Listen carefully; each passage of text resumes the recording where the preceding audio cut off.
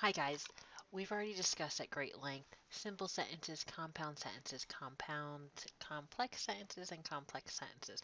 Put that in a little weird order, but you know exactly what I'm talking about, the four various sentence types. And now that you know those four sentence types, you are equipped to avoid fragments. You should not have any fragments in your writing at all. You should run from them as if you would run from a zombie. I mean, I don't know about you. If I saw a zombie, I would start running.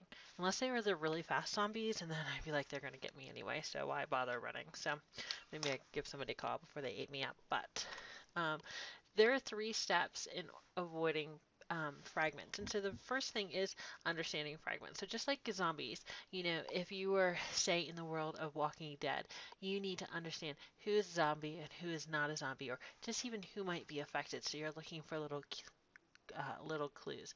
So in terms of fragments, a fragment is any sentence that at the end of the day does not express a complete thought. It might have, so it might look great and healthy, just like an infected zombie person before they start going crazy. So they look great, but because it has a capital letter and a period at the end, it does not make it a sentence if it does not express a complete thought. Even if you have something that looks like a subject and it looks like a verb. Okay, so that's the very first thing. Now the hard part is actually identifying the fragments in our own writing if I just gave you one single fragment right here, I bet all of you would be able to see that it was a fragment and be able to fix it in one of the four ways. Create some sort of beautiful sentence, compound, simple, compound, complex. However, the problem is when we have them all smushed within all the other sentences. So one clue that you can use, or so, sorry, one tip that you can utilize is look at the sentences backwards. So read the last sentence first because that will allow you to take the sentence out of the context of how you wrote it.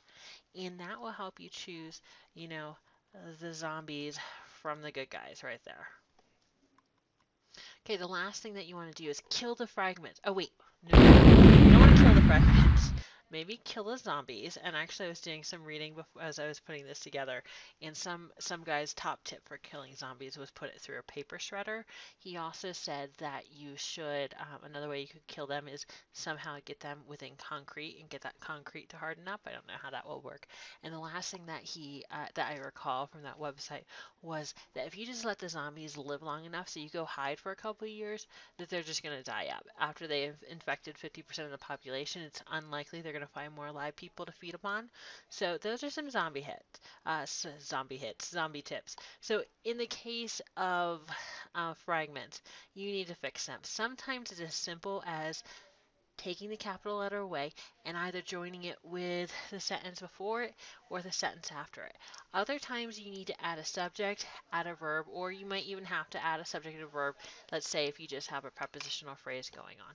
So let's go ahead and look at a paragraph that has a number of fragments in it. And let's go ahead and identify them first. Well, first of all, we understand, remember the fragments, that they are something that does not express a complete thought. Then you need to identify them, and that's what we're about to do right now. And then we'll correct them. We won't kill them, we will fix them, okay? So one thing that you might want to do is print out this exact paragraph. You'll find it on D2L under content. I think it's under grammar, grammar practice, punctuation, grammar, something along those lines. And go ahead and under fragments, you can print out the uh, PDF version of this document and it might help you as you're reading along. So go ahead and find all the fragments.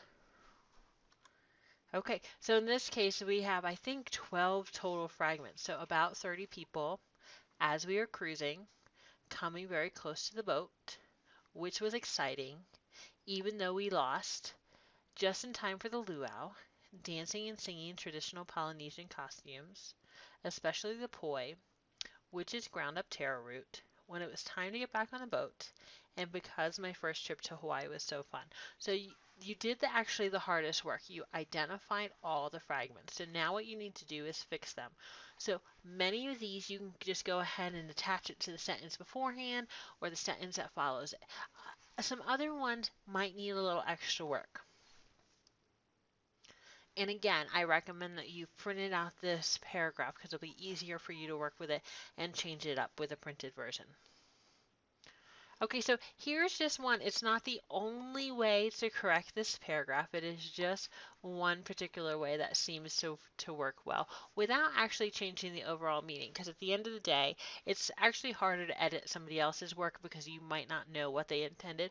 But your own, you will know exactly what meaning you intended and you'll know how to fix the sentences to correct them in the best way with while still retaining the meaning. So so that's the end of this particular lesson. Didn't I tell you it's super easy? A lot easier than killing zombies, I think. I don't know. I've never killed a zombie, um, but I expect it would be a lot harder than working with fragments.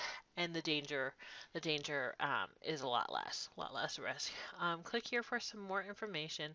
And yeah, key phrase, don't play Candy Crush in class exclamation point. So don't forget to jot this down um, and you'll be inserting it into D2L later. Um, I hope this helps you, and again, I look forward to seeing how you apply this in your own writing.